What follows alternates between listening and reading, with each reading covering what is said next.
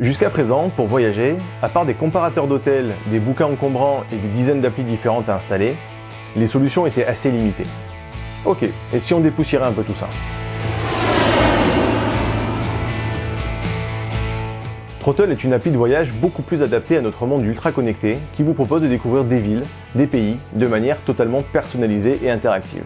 Pour faire simple, on ne vous dit pas où se trouve la tour Eiffel, on vous indique juste les endroits d'où l'admirer. Architecture, lieux romantiques, street art ou encore les meilleurs spots d'où admirer les étoiles, accessibles en tapant simplement un mot-clé. Vous partagez vos découvertes et itinéraires avec les autres utilisateurs et enrichissez l'expérience de voyage.